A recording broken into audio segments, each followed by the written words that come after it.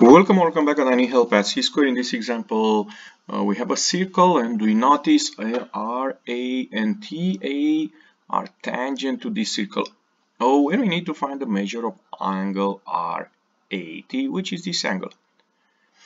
Okay, and we have a property of a tangent.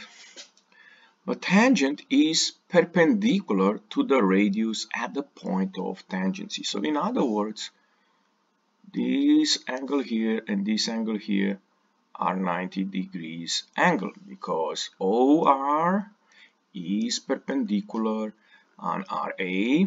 That's what the property says, the theorem says.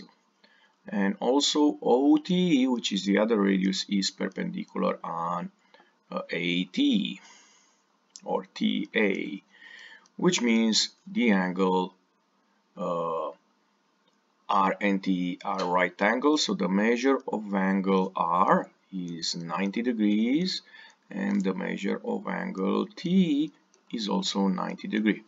And now we can take a look in the quadrilateral ORAT, that quadrilateral. The sum of these interior angles of this quadrilateral is 360 degrees.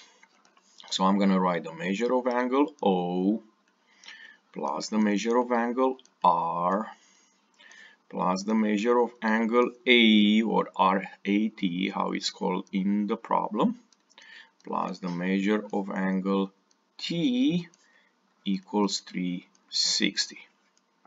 And measure of angle O is 140, angle R is 90 degrees, angle A, I'm going to call it X just to make the problem a little bit more algebraically.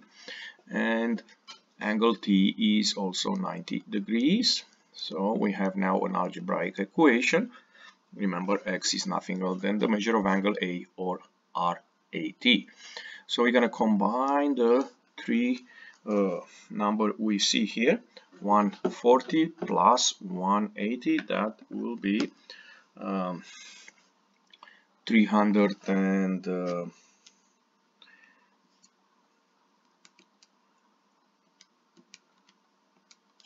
Twenty, 320 plus x equals 360 subtract 320 on both sides.